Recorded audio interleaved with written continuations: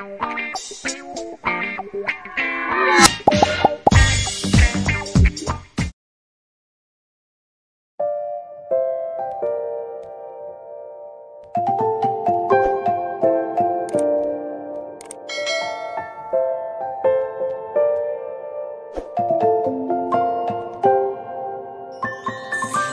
many places still undiscovered, but you're stuck in